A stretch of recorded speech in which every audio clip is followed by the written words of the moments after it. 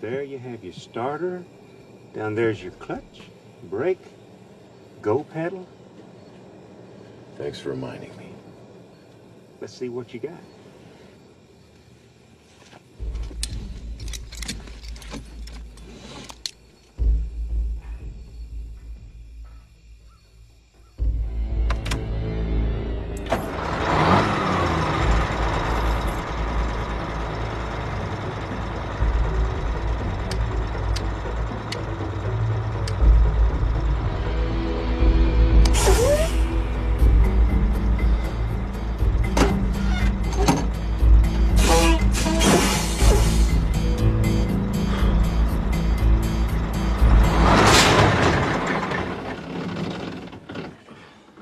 Thought you could drive.